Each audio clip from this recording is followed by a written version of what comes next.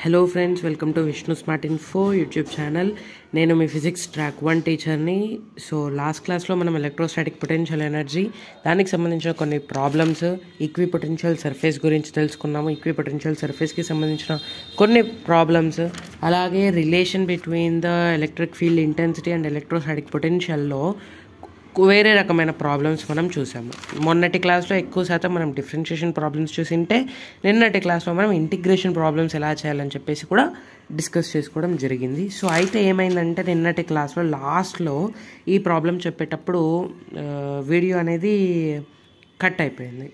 So ఏం లేదు ఈ ప్రాబ్లం చాలా simple problem so work done అడిగారు. వర్క్ డన్ అంటే nothing but change in the potential energy అంటే U final minus U initial అడుగుతున్నారు వాళ్ళు. సో యూ ఇనీషియల్ ఆల్రెడీ అందరికీ తెలుసు. యూ ఇనీషియల్ అంటే మీరు ఫస్ట్ ఎప్పుడైనా సరే ప్రాబ్లమ్స్ చేసేటప్పుడు ఇట్లాంటి ప్రాబ్లమ్స్ చేసేటప్పుడు ఎన్ని టూ చార్జెడ్ సిస్టమ్స్ ఉన్నాయో వెతకండి. ఎన్ని టూ చార్జెడ్ సిస్టమ్స్ ఒక టూ చార్జెడ్ సిస్టమ్ మీకు కనిపిస్తే ఒక k q square divided by a అంటే nothing but k into charge one into charge two divided by distance between the two charges so ఆ formula use చేసుకొని పెట్టుకోండి. So అలా ఇనీషియల్గా నీకు బెయిట్ ఉంటుంది. స్మాల్ క్యూ అనే చార్జ్ అసలు నీకు లోపల ఉండదు. ఈ స్మాల్ క్యూ అనే చార్జ్ చాలా బెయిట్ ఎక్కడో ఉంటుంది. సో అప్పుడు నీకు ఏమేమి ఛార్జెస్ ఉంటాయంటే త్రీ ఛార్జెస్ ఉంటాయి అంటే నథింగ్ బట్ ఇదొక టూ సిస్టమ్ ఇదొక టూ చార్జ్ సిస్టమ్ ఇదొక టూ ఛార్జ్ సిస్టమ్ ఇదొక టూ ఛార్జ్ సిస్టమ్ అంటే సో ఒక్కొక్క టూ చార్జ్ సిస్టమ్కి ఒక్కొక్క k q square by a ఉంటుంది. K q square divided by a ఎలా రాసావు ఇది అంటే k into charge one capital letter Q charge two capital letter Q divided by a distance a so అలా k q square by a ఇది వచ్చేసరికి you initial okay? So ఇట్లాంటివి ఎన్ని ఉన్నాయి? మూడు ఉన్నాయి కాబట్టి three k q square by a okay? So ఇప్పుడు ఫైనల్ ఫైనల్కి వచ్చేసరికి ఏమైపోతుందంటే ఫైనల్గా ఈ స్మాల్ క్యూ అనే ఛార్జ్ కూడా వచ్చేస్తుంది ఎక్స్ట్రాగా వీళ్ళకి సెంటర్లో వస్తుంది అయితే. సో సెంటర్లో వచ్చినప్పుడు నీకు అప్పుడు ఎన్ని సిస్టమ్స్ ఉంటాయి? ఎన్ని టూ చార్జెడ్ సిస్టమ్స్ ఉంటాయి అంటే టోటల్ సిక్స్ ఉంటాయి టూ చార్జెడ్ సిస్టమ్. ఏంటి ఆ సిక్స్? ఒక మూడు అయితే ఆల్రెడీ ఇనీషియల్గా ఉండేటివి. అంటే ఇదొకటి ఇదొకటి ఇదొకటి. మీకు సరిగ్గా గజిబిజి గజిబిజి కొన్ని ఉంటుంది ఆల్రెడీ రికార్డ్ చేసింది కాబట్టి సరే ఇక్కడ ప్లేస్ ఉంది కాబట్టి ఇక్కడ నేను మళ్ళీ నీట్గా చూపిస్తాను. Okay? So capital letter Q charge capital letter Q charge capital letter Q charge సెంటర్లో small letter q charge so ఇప్పుడు ఫైనల్గా ఎన్ని టూ చార్జర్ సిస్టమ్స్ ఉంటాయంటే సిక్స్ ఉంటాయి. ఆ సిక్స్ ఏంటో ఇప్పుడు నేను మీకు నీట్గా చూపిస్తాను. జాగ్రత్తగా చూడండి. సో ఈ రెండు క్యూలు కలిపి ఒక టూ చార్జెడ్ సిస్టమ్ ఈ రెండు క్యూలు కలిపి ఇంకొక టూ చార్జెడ్ సిస్టమ్ ఈ రెండు క్యూలు కలిపి ఇంకొక టూ చార్జెడ్ సిస్టమ్ ఇవి మూడు. ఈ మూడు ఇనీషియల్గా కూడా ఈ మూడు ఉన్నాయి. ఈ మూడు కాకుండా ఇంకా ఎక్స్ట్రాగా ఇంకా మూడు ఏమేమి ఉన్నాయి అంటే ఇది ఉంది కదా ఎక్స్ట్రాగా ఈ ఛార్జ్ ఎక్స్ట్రా ఉంది కదా. సో ఇప్పుడు ఈ రెండు కలిపి ఒక టూ ఛార్జెడ్ సిస్టమ్ ఈ రెండు కలిపి ఒక టూ ఛార్జెడ్ సిస్టమ్ ఈ రెండు కలిపి ఇంకొక టూ ఛార్జెడ్ సిస్టమ్. సో అలాగా ఎక్స్ట్రాగా నీకు ఇంకొక త్రీ టూ ఛార్జెడ్ సిస్టమ్స్ వచ్చాయి. సో ఇప్పుడు ఈ సిక్స్కి సంబంధించి మనం రాసుకోవాలి. ఏం రాసుకోవాలంటే ఫార్ములాస్ రాసుకోవాలి. సో ఫస్ట్ ఈ రెండింటికి కలిపి ఏమని రాయొచ్చు నేను? K into q into q divided by a square అంటే nothing but k q square by a so ఇట్లాంటి కే క్యూ స్క్వేర్ బై ఏలు ఎన్ని ఎన్ని వస్తాయి? మూడు వస్తాయి. ఎందుకంటే ఇవన్నీ కూడా సేమే కదా. Q q distance a q q distance a q q distance a కాబట్టి ఇట్లాంటివి మూడు ఉన్నాయి సో మూడు వస్తాయి. ఈ ఆరిట్లో మూడు ఇవి వస్తాయి. మరి ఇంకొక మూడు ఏమేమి వస్తాయంటే ఇంకొక మూడు ఏమేమి వస్తాయంటే చూపిస్తాను. వెయిట్ సో ఇట్లాంటి ఛార్జెస్ వస్తాయి. సో వర్టెక్స్ నుంచి సెంటర్ ఆఫ్ ద ట్రాంగిల్కి ఎంత డిస్టెన్స్ ఉంటుంది? ఏ బై రూట్ త్రీ అని చెప్పేసి ఉంటుంది. దీన్ని ఈ విషయం నేను మీకు ఆల్రెడీ చెప్పాను. So three into k q into q divided by a by root three. So ఇది యూ ఫైనల్. సో ఇవి ఎందుకు త్రీ ఉంటాయంటే ఇట్లాంటి సిస్టమ్స్ ఎన్ని ఉంటాయి త్రీ ఉంటాయి. సో దీనికి ఒక k q q divided by a by root three. మళ్ళీ దీనికి ఇక్కడ క్యూ ఇక్కడ క్యూ మళ్ళీ దీనికి ఒక k q q divided by a by root three మళ్ళీ దీనికి ఇంకొక k q q divided by a by root three so ఇలా మూడు వచ్చాయి కాబట్టి నేను డైరెక్ట్గా రాసేసాను. ఓకే అందరికి అర్థమవుతుందని అనుకుంటున్నాను. సో ఇప్పుడు వాళ్ళు అడిగినటువంటి work done so work done formula ఏంటి? U F minus U I so U F ఎంత? యూఎఫ్ వచ్చేసరికి ఇది. Three k q square by a plus ఈ కింద ఉండే రూట్ త్రీ నేను పైకి పంపించేసేస్తా. అప్పుడు ఏమవుతుందంటే three root three k into q into q divided by a minus U initial U initial ఇక్కడ రాశాను నేను. Three k q square by a three k q square by a so అప్పుడు ఈ plus three k q square by a minus three k q square by a cancel అయిపోయి నీకు ఫైనల్గా work done వచ్చేసరికి three root three k q q divided by a మిగులుతుంది నీకు. So I think అందరికి అర్థమైందని అనుకుంటున్నాను. మీకు అర్థం కాలేదంటే మీరు ఖచ్చితంగా నిన్నటి క్లాస్ వినిండరు అని గ్యారెంటీగా నేను చెప్పగలను కొంతమందికి ఏంటి q q q q q అని చెప్తున్నాడు ఈయన అని మీకు డౌట్ వస్తే మాత్రం మీరు డెఫినెట్గా నేను గ్యారంటీ చెప్తున్నాను మీరు నిన్నటి క్లాస్ వినిండరు ఒకవేళ విన్నా కానీ పూర్తి మనసు పెట్టి వినిండారని చెప్పేసి నేను గ్యారంటీగా నేను చెప్పేస్తాను ఓకే? సో ఇంకా లేట్ చేయకుండా ఇవాళ క్లాస్ స్టార్ట్ చేద్దాం. సో ఇవాళ నేను మీకు డిస్కస్ చేయబోయే టాపిక్ వచ్చేసరికి electric flux okay so electric flux so symbol వచ్చేసరికి ఫై సో ఇది వచ్చేసరికి పై దీన్ని పై అని చెప్పేసి చదువుతాం. దీన్ని వచ్చేసరికి ఫై అని చెప్పేసి చదువుతాం. తేడా అందరికీ తెలుస్తుంది కదా. సో ఇప్పుడు నేను ఎలక్ట్రిక్ ఫ్లక్స్కి సంబంధించిన ఇంపార్టెంట్ ఫస్ట్ బేసిక్ డెఫినేషన్ చెప్తాను. ఆ బేసిక్ డెఫినేషన్ అందరు నోట్ డౌన్ చేసుకోండి. It represents it represent number of field lines number of field lines crossing the crossing the given area given area okay అంతే. Flux అంటే అంతే. చాలా simple. Definition అందరికీ అర్థమైందని అనుకుంటున్నాను.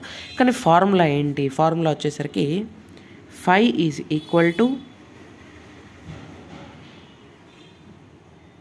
ఇది ఫార్ములా జాగ్రత్త నేను చదువుతాను. జాగ్రత్త మీరు కూడా వినండి.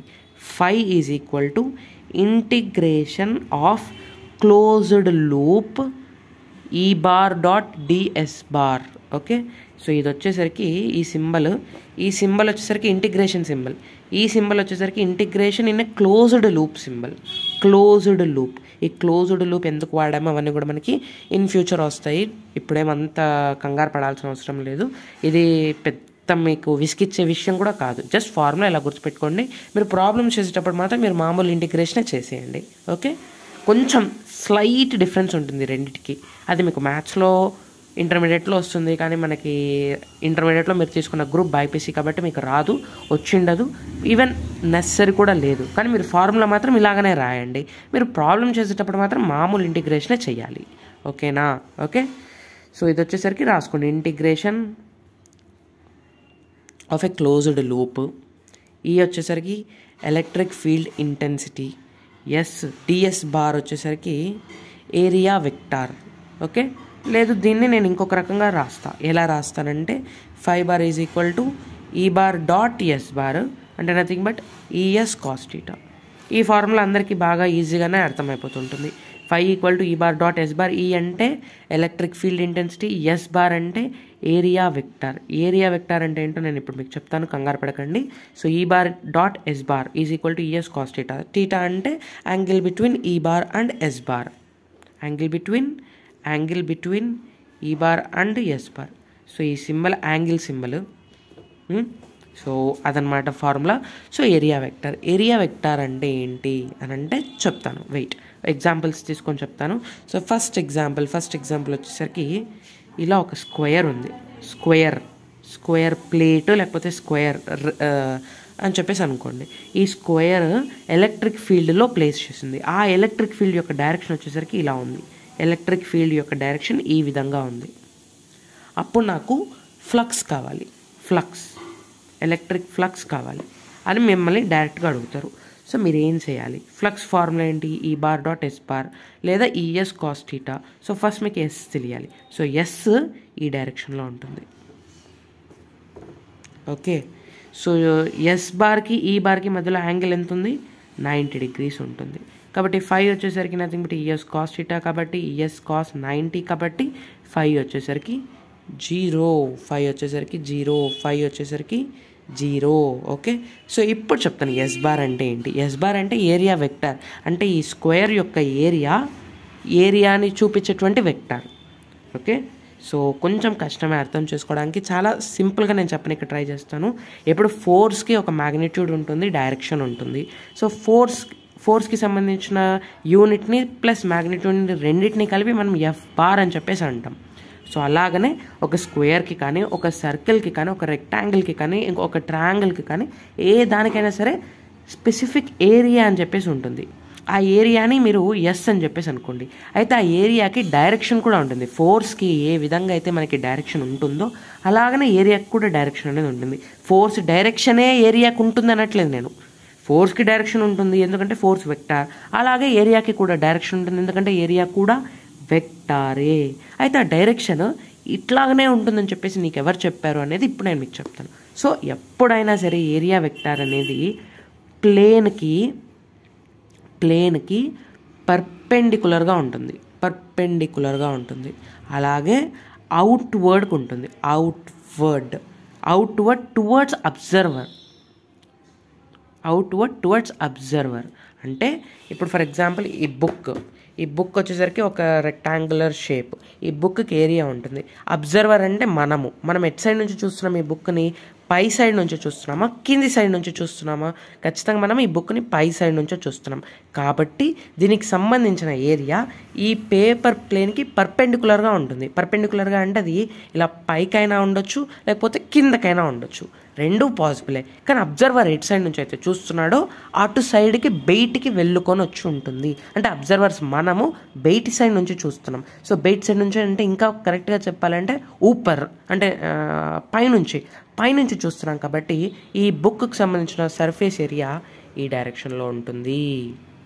ఈ డైరెక్షన్లో ఉంటుంది. ఓకేనా? ఐ థింక్ అర్థమవుతుంది. మీకు క్లారిటీ వస్తుందని చెప్పేసి అర్థమవుతూ అనుకుంటున్నాను. ఓకే? సో అలా అన్నమాట. అర్థమైందని అనుకుంటున్నాను. సో ఎస్ బార్ సో అలాగా ఇప్పుడు మనం మ్యాక్సిమం ఇలానే బయటకు ఉంటుంది. అంటే ఇట్లా నేను మీకు చెప్పాను కదా అబ్జర్వర్ ఎట్ సైడ్ నుంచి అయితే చూస్తున్నాడు అటు సైడ్ నుంచి బయటకు ఉంటుంది.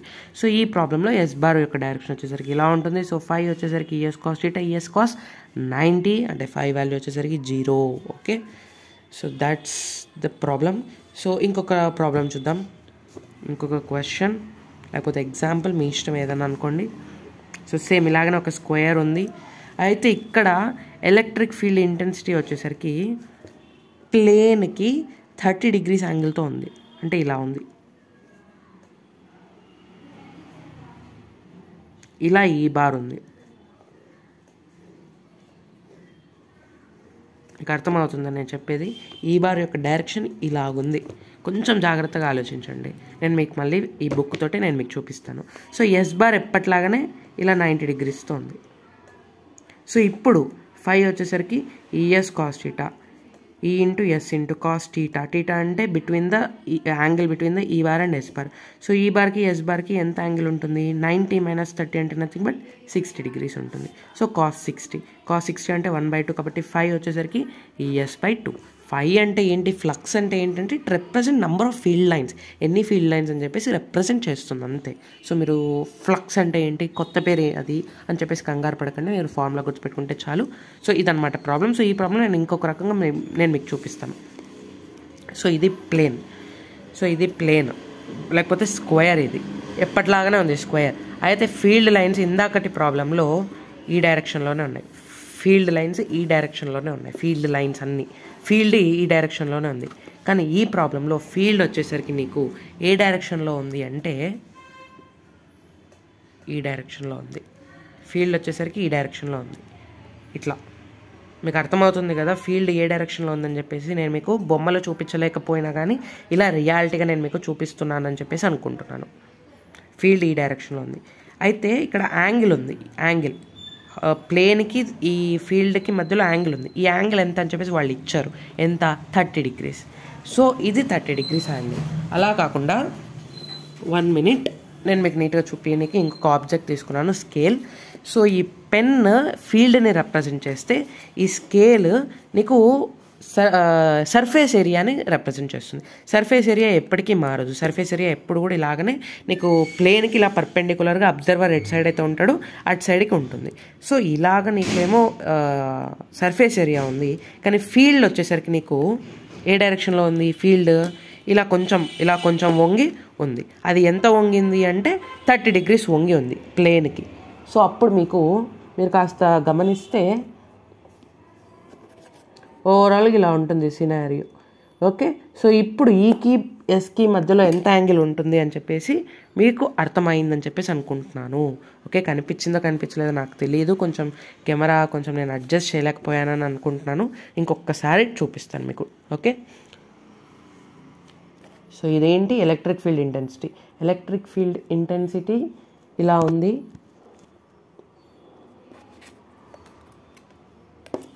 సర్ఫేస్ ఏరియానేమో అలా ఉండింది. ఓకే నేను కొంచెం చాలానే ట్రై చేస్తున్నాను బట్ అందరికీ అర్థమైందని చెప్పేసి అనుకుంటున్నాను. ఇంకా ఎందుకు టైం వేస్ట్? చిన్న చిన్న వాటికి ఇంత ఇంత టైం వేస్ట్ చేస్తే మనకి సిలబస్ లాగ్ అయిపోతుంది అన్న ఉద్దేశంతో నేను ఇంకా ముందుకెళ్తున్నాను. సో అలా ఉంటుంది సినారియో సో మీరు కాస్త జాగ్రత్తగా టీ ఎంత ఉందో మీరు జాగ్రత్తగా కనుక్కోగలిగితే మీకు ఆన్సర్స్ అనేవి వస్తాయి. లేకపోతే చాలా ఇబ్బంది పడతారు. సో అది నేను ఓవరాల్గా చెప్పాలనుకుంటున్న విషయము. So next question next question నేను ఇప్పుడు వెక్టార్స్లో ఇస్తాను. ఎలాగంటే ఈ బార్ వచ్చేసరికి two I cap plus three J cap plus four K cap అని చెప్పేసి అంటాను. అది వచ్చేసరికి square plate square of area area కాదు సైడ్ లెంత్ టూ మీటర్స్ ఆ స్క్వేర్ కూడా నాకు వైజెడ్ ప్లేన్లో ఉంది. ఇప్పుడు నాకు ఫైవ్ కావాలి. సో ఎప్పుడైనా చూ- చూడండి స్క్వేర్ వైజెడ్ ప్లేన్లో ఉంది అంటే areal vector of square A డైరెక్షన్లో ఉంటుంది? పర్పెండికులర్గా ఉంటుంది. పర్పెండికులర్గా అంటే వైజెడ్ ప్లేన్కి ఎవరు పర్పెండికులర్గా ఉంటారు? ఎక్స్ యాక్సిస్ పర్పెండికులర్గా ఉంటుంది. కాబట్టి ఎస్ బార్ వచ్చేసరికి నీకు ఎక్స్ యాక్సిస్లో ఉంటుంది. అవునా? సో ఎస్ బార్కి సంబంధించిన డైరెక్షన్ నీకు వచ్చేసింది ఎక్స్ యాక్సిస్ అని. మరి ఎస్ బార్కి సంబంధించిన మ్యాగ్నిట్యూడ్ అంటే ఏరియా మ్యాగ్నిట్యూడ్ ఏరియా మ్యాగ్నిట్యూడ్ వచ్చేసరికి ఏ స్క్వేర్. ఏ ఎంత టూ సో టూ స్క్వేర్ అంటే four so four I cap so S bar total S bar వచ్చేసరికి నీకు ఫోర్ ఐ క్యాప్ అని చెప్పేసి వాడు ఇండైరెక్ట్గా ఇచ్చాడు. ఈ లైన్లో నుంచి వాడు నీకు ఇండైరెక్ట్గా S bar equal to four I cap అని చెప్పేసి ఇచ్చాడు. సో ఇప్పుడు ఫైవ్ ఫైవ్ కనుక్కోండి. Phi equal to E bar dot S bar so dot product two I cap plus three J cap plus four K cap into four I cap so ఓవరాల్గా నీకు ఎంత వస్తుంది? Phi వచ్చేసరికి eight units వస్తుంది. Okay so I think అందరికీ బాగానే అర్థమైంది. Okay so మీకు కొంతమందికి డౌట్ రావచ్చు. S bar equal to four I cap ఎందుకు?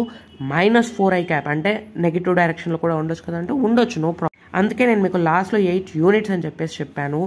Phi phi value phi equal to plus eight I క్యాపా లేకపోతే మైనస్ ఎయిట్ ఐ క్యాప్ అని నేను చెప్పలేదు. రెండిట్లో ఏదైనా కరెక్ట్ రెండు మీకు ఆప్షన్స్లో ఇవ్వరు. ఒకవేళ ఇస్తే బోత్ ఆఫ్ దీస్ అని కూడా ఇస్తారు. లేకపోతే అది కూడా ఇవ్వకపోతే రెండిట్లో ఏది మీరు మార్క్ చేసినా కానీ మీకు ఒక మార్క్ అయితే ఇవ్వాలి. ఓకే సో అదనమాట కండిషన్స్ సో నెక్స్ట్ ఇప్పుడు మనం గాస్ లా స్టార్ట్ చేసుకుంటాం. So what is meant by Gauss law? ఫ్లక్స్కి దీనికి రిలేషన్ ఉంది. అందుకని చెప్పేసి మనం ఫ్లక్స్ చెప్పుకున్న వెంటనే అదే క్లాస్లో గాస్లో కూడా అయిపోగొట్టడానికి మోస్ట్ ప్రాబబ్లీ ఎవరైనా కానీ ట్రై చేస్తారు. సో స్టేట్మెంట్ చెప్తాను రాసుకోండి.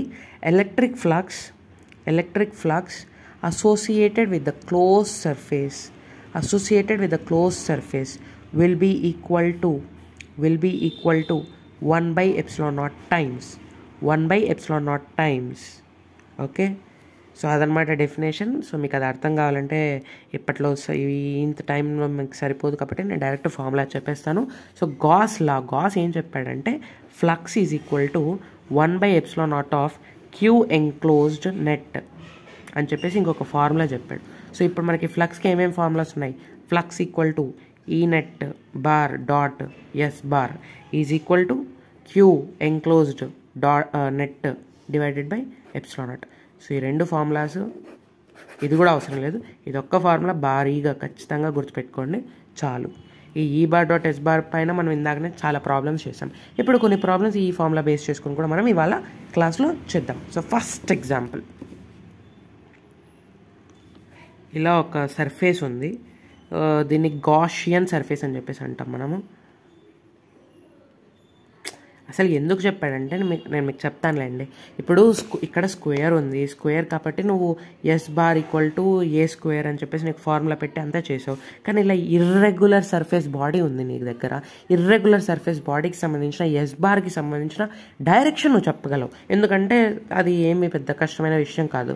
పర్పెండికులర్గా ఉంటుంది బయటికి వస్తుంది. అబ్జర్వర్ ఎట్ సైడ్ నుంచి చూస్తున్నాడు అటు సైడ్కి బయటికి వస్తుంది. సో డైరెక్షన్ ఈజీగా చెప్తాం. మరి మ్యాగ్నిట్యూడ్ ఈ ఈ ఈ బాడీకి సంబంధించిన ఏరియా నేను ఎలా కనుక్కుంటాను? కనుక్కోలేను కదా. కాబట్టి అటువంటి బాడీస్కి ఇంకొక మాదిరిగా ఇంకొక రకంగా ఫ్లక్స్ కనుక్కునేటట్టుగా ఫార్ములాని కనుక్కున్నాడు గాస్. ఆ ఫార్ములానే ఈ ఫార్ములా సో ఈ ప్రాబ్లంలో మనము ఈ ఫార్ములాను యూస్ చేయొచ్చు. కానీ మనకి ఎస్ బార్ తెలియాలి. సో ఎస్ బార్ తెలియ తెలియడం కష్టం. కాబట్టి ఈ ఫార్ములాని యూస్ చేస్తూ మనం ఈ ప్రాబ్లమ్ని సాల్వ్ చేస్తాం. సో ఇది ఒక ఇర్రెగ్యులర్ సర్ఫేస్ సో దీన్ని మనం గాషియన్ సర్ఫేస్ అని చెప్పేసి అనుకుంటాం. ఓకే సారీ గైస్ నేను రికార్డ్ చేసుకున్నాను.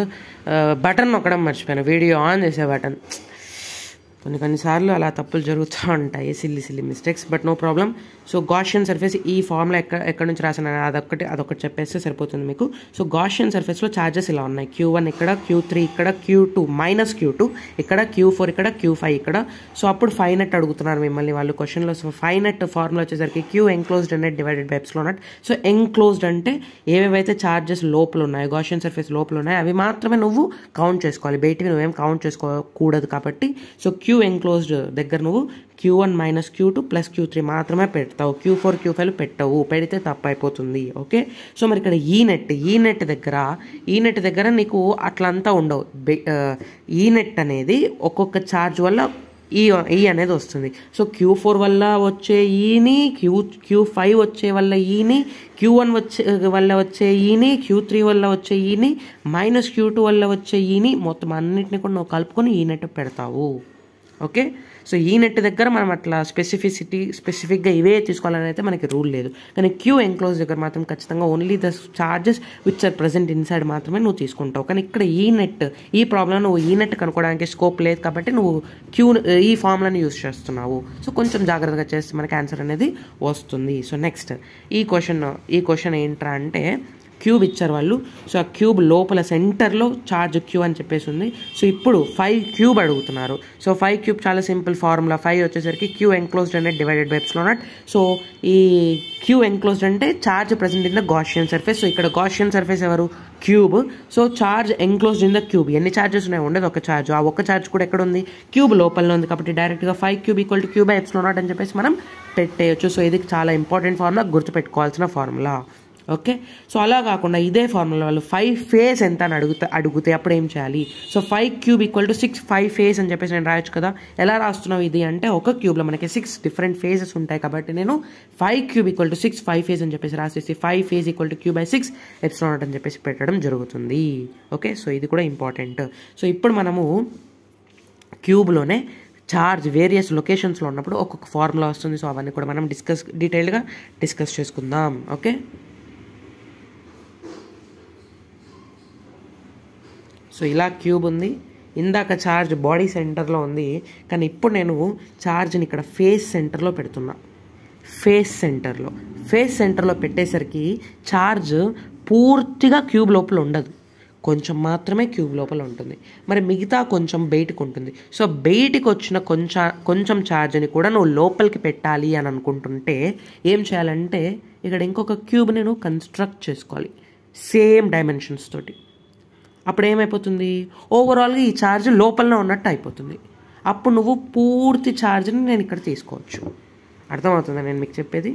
సో అప్పుడు ఏమైపోతుందంటే phi by phi phi cube equal to Q by two epsilon naught అవుతుంది.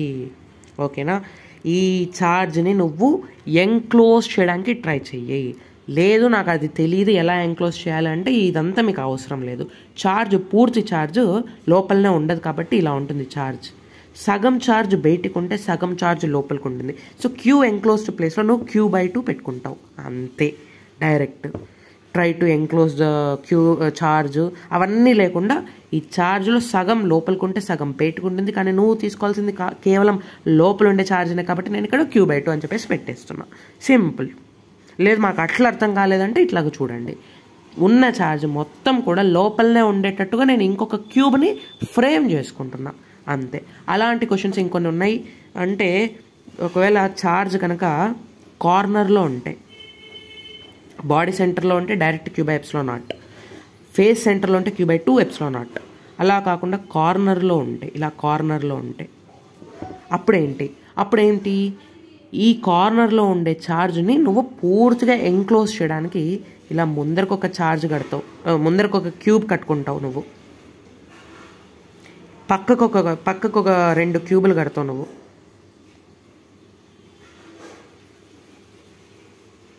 మళ్ళీ కింద కింద సైడ్కి ఇంకొక రెండు క్యూబులు కడతావు.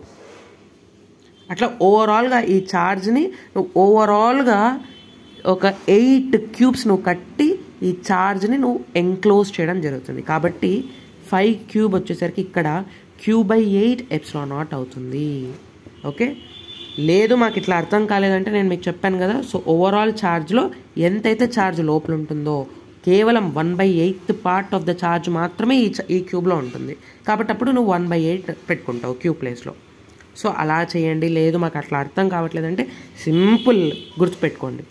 ఛార్జ్ బాడీ సెంటర్లో ఉంటే phi cube Q by epsilon naught charge face సెంటర్లో ఉంటే phi cube Q by two epsilon naught charge కార్నర్లో ఉంటే phi cube Q by eight epsilon naught అని చెప్పేసి గుర్తుపెట్టుకోండి. కానీ అన్నీ కూడా ఇంపార్టెంటే వాడు ఫేస్ సెంటర్లో ఇచ్చి ఫైవ్ ఫేస్ అడిగాడు అనుకోండి అప్పుడు ఏం చేస్తారు?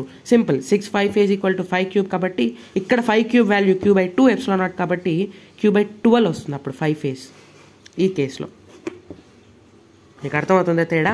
ఈ కేసులో మీరే చేయండి. మీరే చేసి నాకు హోంవర్క్ ఇది కామెంట్ సెక్షన్లో నాకు పెట్టండి. సో ఇలాగ మీరు ఇచ్చిన ఛార్జ్ని మీరు ఎంక్లోజ్ అన్నా చేయండి. లేదా నేను ఇక్కడ చెప్పాను కదా సగం అటు ఉంది సగం ఇటు ఉంది అంటే one by one by two part of the charge లోపల ఉంది కాబట్టి మీరు ఇక్కడ one by two into Q చేయాలంటే nothing but Q by two చేసి అలా అయినా పెట్టండి. లేదు మాకు ఇవేమి తెలియదు అంటే జస్ట్ సింపుల్గా గుర్తున్నా పెట్టుకోండి. కానీ ఖచ్చితంగా మీరు ఈ వాల్యూస్ అయితే గుర్తుపెట్టుకోవాలని చెప్పేసి నేను కోరుకుంటున్నాను అనుకుంటున్నాను. ఖచ్చితంగా మీరు గుర్తుపెట్టుకుంటేనే మీకు మార్క్స్ అనేవి వస్తాయి. ఇంపార్టెంట్ మోడల్ క్వశ్చన్స్ ఇవి. అందుకని చెప్పేసి చెప్పాల్సిన అవసరం వచ్చి చెప్తున్నాను. ఓకేనా? ఓకే? సో ఇప్పుడు ఇంకొక క్వశ్చన్ చూద్దాం. సో ఏంటి ఆ క్వశ్చన్ అంటే ఇలా ఒక స్క్వేర్ ఉంది. Square plate. సో చార్జ్ వచ్చేసరికి ఈ స్క్వేర్ ప్లేట్ నుంచి పలానా డిస్టెన్స్లో ఉంది. పైకి పైకి. అంటే ఇది స్క్వేర్ ప్లేట్ అయితే ఛార్జ్ ఇక్కడ ఎక్కడో ఉంది. ఇది ఇది ఛార్జ్ సో ఈ ఛార్జ్ ఈ స్క్వేర్ నుంచి ఎంత డిస్టెన్స్లో ఉంది అంటే ఏ బై టూ డిస్టెన్స్ లేకపోతే ఏ డిస్టెన్స్లో ఉంది. ఓకే? కాదులేండి కాదులేండి. ఏ బై టూ డిస్టెన్స్లో ఉంది ఈ ఛార్జ్ అనేది. ఇప్పుడు నాకు ఫైవ్ కావాలి. Phi phi through the square plate కావాలి. ఎలా చేస్తారు? ఎలా చేస్తారంటే ఫస్ట్ ఈ ఛార్జ్ బెయిట్ సైడ్ ఉంది. మనకి ఈ స్క్వేర్ ప్లేట్ నుంచి బెయిట్ సైడ్ ఉంది కాబట్టి మనము దీని ఒక క్యూబ్ లాగా కన్స్ట్రక్ట్ చేసుకోవాలి. ఇలా ఒక క్యూబ్ లాగా కన్స్ట్రక్ట్ చేసుకుంటే అప్పుడు ఈ చార్జ్ అనేది ఆ క్యూబ్ లోపల బాడీ సెంటర్లో ఉంటుంది. అప్పుడు ఫైవ్ క్యూబ్ ఎంత? Q by epsilon naught. అప్పుడు ఫైవ్ ఫేజ్ ఎంత? Q by six epsilon naught. Phi face అంటే ఎవరు? ఫైవ్ త్రూ స్క్వేర్ ప్లేట్ అనే కదా అర్థం. సో ఫైవ్ స్క్వేర్ వచ్చేసరికి Q by six epsilon naught so అలా డైరెక్ట్గా పెట్టేసేయచ్చు. సో ఇటువంటి ప్రాబ్లమ్స్ని సాల్వ్ చేయడం కోసమే ఇందాక నేను ఇవి చెప్పడం జరిగింది. సో ఇవి మీకు కనుక కరెక్ట్గా గుర్తుంటే ఇవన్నీ పెద్ద సమస్యనే కాదు. చాలా సింపుల్గా మీరు ప్రాబ్లమ్స్ అన్నిటిని కూడా సాల్వ్ చేసేయగలరు. ఓకే సో ఇప్పుడు ఇంకొక ఎగ్జాంపుల్ ప్రాబ్లం చూపిస్తాను నేను మీకు. సో ఇలా ఒక స్పియర్ ఉంది. ఈ స్పియర్ లోపల ఛార్జ్ ఉంది. సో ఫ్లక్స్ ఫ్లక్స్ uh, ఇలా వచ్చి ఇలా వెళ్ళిపోతూ ఉంది. అంటే ఇది వచ్చేసరికి ఫ్లక్స్ ఇన్ ఇది వచ్చేసరికి flux out. So Q enclosed వచ్చేసరికి జీరో. అవునా కదా? ఈ ఎలక్ట్రిక్ ఫీల్డ్ లైన్స్ ఇలా వచ్చి అలా వెళ్ళిపోతే ఇక్కడ లోపల ఛార్జ్ లేనట్టే కదా అర్థము. అప్పుడు ఫైనెట్ ఫైనెట్ ఎంత? ఇప్పుడు మనం నెక్స్ట్ క్వశ్చన్ చూద్దాం. సో నెక్స్ట్ క్వశ్చన్ చూసేసి ఇంక వాళ్ళ క్లాస్ని వైండ్ అప్ చేసేద్దాం. సో అందరికీ క్లాస్ బాగానే అర్థమైందని చెప్పేసి అనుకుంటున్నాను. So next question note down చేసుకోండి. A rod has linear charge density lambda a rod has linear charge density lambda and it has to be inserted in the cube of side length A and it has to be inserted in the cube of side length A what can be the maximum possible flux through charge Q what can be the maximum flux through Q okay so first మీకు question అర్థమైంటుందని చెప్పేసి అనుకుంటున్నాను. So flux formula ఏంటి? Q in divided by epsilon అంటే queue in అంటే nothing but Q ఎంక్లోజ్డ్కి short form అదే five maximum అవ్వాలి అంటే ఎప్పుడు పాసిబుల్ అవుతుంది ఫైవ్ మ్యాక్సిమమ్ క్యూ ఇన్ ఎప్పుడైతే మ్యాక్సిమం ఉంటుందో అప్పుడు మాత్రమే నాకు ఫైవ్ మ్యాక్సిమం అవుతుంది. సో క్యూ ఇన్ ఎప్పుడు మ్యాక్సిమం అవుతుంది? ఎందుకు క్యూ ఇన్ మ్యాక్సిమం అవ్వాలి? ఎప్సిల్ నాట్ వాల్యూ తగ్గితే కూడా ఫైవ్ వాల్యూ పెరుగుతుంది కదా అనుకుంటే అది మూర్ఖత్వం. ఎప్సిలో నాట్ అనేది ఒక కాన్స్టెంట్. ఎప్సిలో నాట్కి వాల్యూ ఉంది. Eight point eight into ten to power of minus twelve అని. సో ఇది మారదు. సో మారితే గిరితే క్యూవిన్నే మారాలి. సో క్యూవిన్ పెరిగితే ఫైవ్ పెరుగుతుంది. సో క్యూఎన్ మ్యాక్సిమం అవుతే ఫైవ్ కూడా మ్యాక్సిమం అవుతుంది. కాబట్టి ఈ క్వశ్చన్లో వాళ్ళు మ్యాక్సిమం పాసిబుల్ ఫ్లక్స్ అడుగుతున్నారు కాబట్టి మనము క్యూఎన్ మ్యాక్సిమం ఉండేటువంటి కేస్ని మనం తీసుకోవాలి. సో క్యూఎన్ మ్యాక్సిమం ఉండాలి అని అంటే లెంత్ మ్యాక్సిమం ఉండాలి. లెంత్ మ్యాక్సిమం ఉన్నప్పుడు మాత్రమే నాకు క్యూఇన్ మ్యాక్సిమం ఉంటుంది. ఇది ఎట్లా చెప్తున్నావు నువ్వు అంటే lambda equal to Q by L కదా? అంటే Q equal to lambda into L కదా? సో ల్యాండా కూడా కాన్స్టెంట్ కాబట్టి Q is directly proportional to length కదా?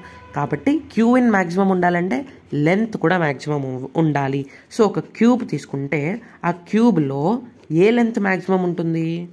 అఫ్ కోర్స్ ఈ డయాగ్నల్ ఈ డయాగ్నల్ భారీగా ఉంటుంది. అంటే లెంత్ ఆఫ్ దిస్ డయాగ్నల్ చాలా ఎక్కువ ఉంటుంది. ఈ లెంత్ ఆఫ్ ద డయాగ్నల్ వచ్చేసరికి రూట్ త్రీ ఏ అనమాట సో ఈ డయాగ్నల్ ప్లేస్లో మనక మనము రాడ్ని పెడితే rod of the linear charge డెన్సిటీని ఈ ఈ డయాగ్నల్ ప్లేస్లో పెడితే అప్పుడు నాకు మ్యాక్సిమం పాసిబుల్ ఫ్లక్స్ అనేది వస్తుంది.